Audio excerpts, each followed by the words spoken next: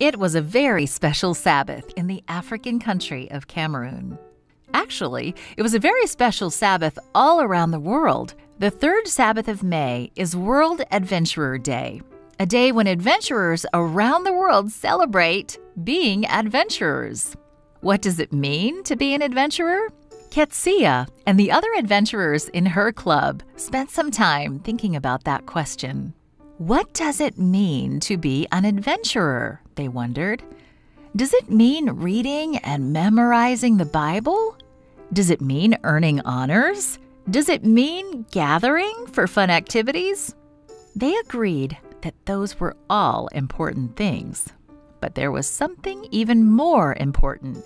They decided that being an adventurer means helping others. It means helping people in need, just as Jesus would if he were on earth today.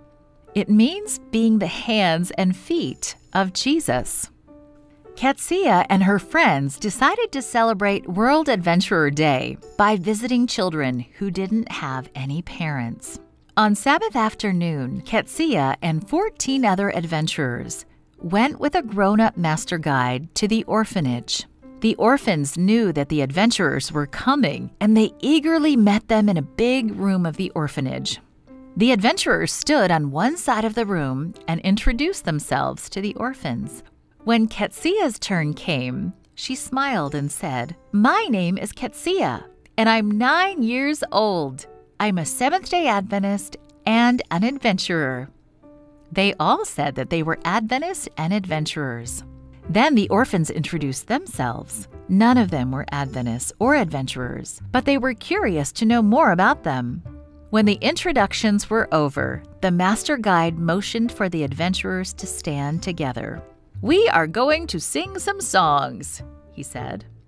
Ketsia and the other adventurers enthusiastically sang about Jesus. They clapped their hands with some songs and used hand motions with others. When the adventurers finished singing, the orphans asked them to sing the songs again. They liked what they had seen and heard. The adventurers sang the songs again, and the orphans listened with bright smiles.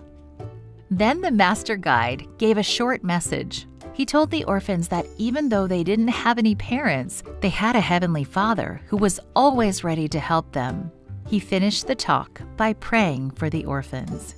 Then came the moment that Ketsia had been waiting for. It was time to pass out gifts. Ketsia and the other adventurers brought soap to give them.